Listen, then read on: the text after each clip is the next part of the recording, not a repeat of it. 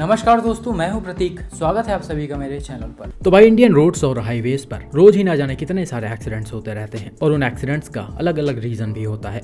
कोई ओवरटेकिंग करते समय होता है, कोई रॉन्ग साइड में चलते समय होता है, कोई ओवर स्पीडिंग करते समय होता है। ऐसे ही तमाम तरह के अलग अलग रीजन होते हैं।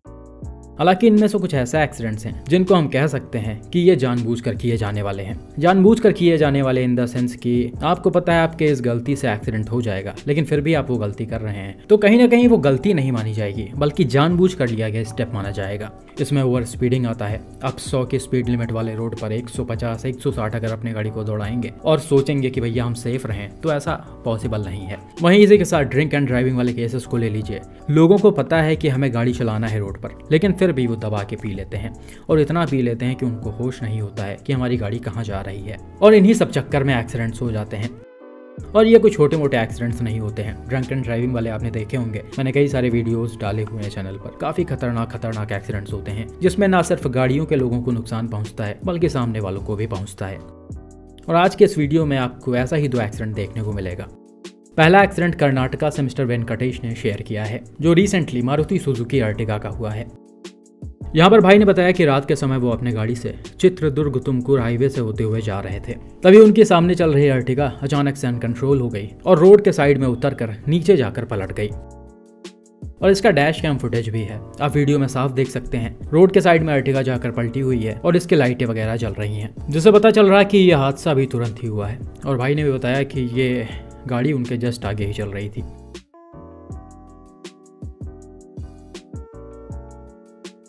हालाँकि एक्सीडेंट एग्जैक्टली कैसे हुआ, वो कैमरे में रिकॉर्ड नहीं हुआ है। लेकिन मिस्टर वेंकटेश जी का कहना था कि अर्टिका में टोटल चार पैसेंजर्स बैठे हुए थे और वो चारों ही भाई लोग एल्कोहल के इन्फ्लुएंस में थे।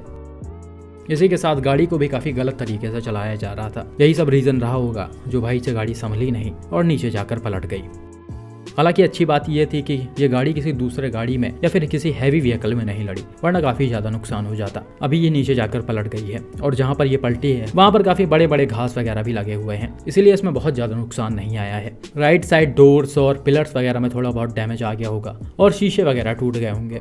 बाकी इससे ज़्यादा कोई और नुकसान नहीं लग रहा। और यही सब वजह थी कि अंदर बैठे चारों पैसेंजर्स भी बिल्कुल सेफ़ थे, किसी को बहुत ज़्यादा इसमें चोटें नहीं आई हैं। तो भाई यहाँ पर आप देख सकते हैं आपकी एक छोटी सी गलती कितने खतरनाक सिचुएशन में पहुँचा सकती है। और इसमें तो सिर्फ़ इनका ही नुकसान हुआ है लेकिन कई बार लोग ऐसे ड्रंक वगैरह होकर दूसरे गाड़ियों को भी टक्कर मार देते हैं। और अगले एक्सीडेंट में आपको वैसा ही कुछ देखने को मिल जाएगा जिसे आंध्र प्रदेश से मिस्टर साई चंद चौधरी ने शेयर किया है। अगर आपके पास भी किसी एक्सीडेंट का फ़ोटो या वीडियो है तो प्लीज़ सारी डिटेल्स के साथ मेरे ईमेल, फेसबुक या फिर इंस्टाग्राम पेज पर शेयर करें। ये एक्सीडेंट टाटा सफारी फेसलिफ्ट और मारुति सुजुकी डिज़ायर के बीच आंध्र प्रदेश के अराकू विशाखापट्टनम में हुआ है। यहाँ पर भाई ने बताया कि एक टू लेन रोड पर टाटा सफारी और डिज़ायर दोनों आमने सामने से आ रही थी। तभी अचानक एक जगह पर डिज़ायर के ड्राइवर का कंट्रोल खो गया और उसने सीधा जाकर सफारी को फ्रंट से हिट कर दिया। यहाँ पर बताया जा रहा कि डिज़ायर के सामने अचानक से कोई आ गया था, इसीलिए उसके ड्राइवर ने स्टेयरिंग को राइट घुमा दिया। हालाँकि साथ में यह भी बताया गया है कि ड्राइवर साहब ड्रंक थे, इसीलिए उनको शायद और भी कुछ समझ में नहीं आया और उन्होंने गाड़ी रोकने उकने के बजाय सीधा ले जाकर टाटा सफारी में घुसा दिया। और ऐसे सिचुएशन में भाई डैश कैम सबसे ज़्यादा काम आता है, क्योंकि आपके पास प्रूफ रहेगा कि एग्जैक्टली गलती किसकी है और कैसा सिचुएशन क्रिएट हुआ है। बाकी काफ़ी सारे लोग मुझसे पूछते रहते हैं एक अच्छे डैश कैम के लिए तो मैंने बजट और क्वालिटी डैश कैम का लिंक डिस्क्रिप्शन में डाल दिया है, आप उसे जाकर खरीद सकते हैं। खैर एक्सीडेंट का इम्पैक्ट काफ़ी ज़्यादा ज़बरदस्त था, जिसमें डिज़ायर का भयानक हाल हो गया। फ़ोटो में आप क्लियरली देख सकते हैं, इसका bonnet bumper headlight fender windshield radiator grille सब कुछ अंदर घुसकर काफ़ी बुरी तरह से डैमेज हो गया है। इसी के साथ इम्पैक्ट इसके कैबिन में भी देखा जा सकता है। गाड़ी का डैशबोर्ड वगैरह कुछ हद तक टूट गया है। वहीं दूसरी तरफ़ टाटा सफारी को देखा जाए तो नुकसान इसमें भी काफ़ी आया है। इसका भी बम्पर रेडिएटर और डीआरएल वगैरह टूट कर डैमेज हो गया है। हालाँकि बोनट वगैरह एस का काफ़ी हद तक सेफ़ दिखाई पड़ रहा। यहाँ तक बहुत ज़्यादा इम्पैक्ट नहीं पहुँचा है। थोड़ा बहुत ये आगे की तरफ़ मुड़ गए हैं और लेफ़्ट साइड में एक डेंट आ गया है।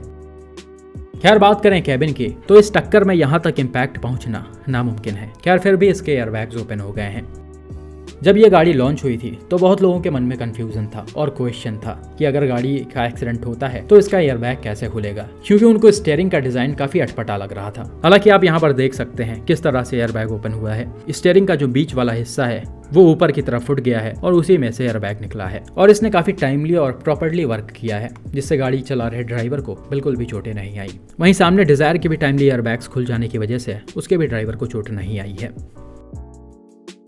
तो भाई यहाँ पर नई नई गाड़ी का क्रैश टेस्ट हो गया। ऐसा लग रहा है सफारी बिल्कुल अभी शोरूम से निकलवाई ही गई थी। उस पर नंबर तक नहीं पड़ा है। और एक्सीडेंट हुआ भी किससे? मारुति से। हालाँकि टाटा वाले की कोई गलती नहीं भाई यहाँ पर। हमेशा लोग यही बोलते हैं कि टाटा वाले गाड़ी निकलवा कर क्रैश टेस्ट करते हैं मारुति वालों के साथ। तो यहाँ पर आप देख सकते हैं, पूरी की पूरी गलती डिज़ायर वाले की है। अब जैसा भी सिचुएशन यहाँ पर क्रिएट हुआ हो, ये पूरी तरह से होश में नहीं थे या किसी को बचाने के चक्कर में एकदम से गाड़ी राइट में ले आए हैं। कुछ भी रहा हो, आप सभी से रिक्वेस्ट है, गाड़ी आपके पास चाहे जो हो। रोड पर उसे हमेशा सही तरह से चलाएँ और खुद के साथ साथ दूसरों को भी सेफ़ रखें।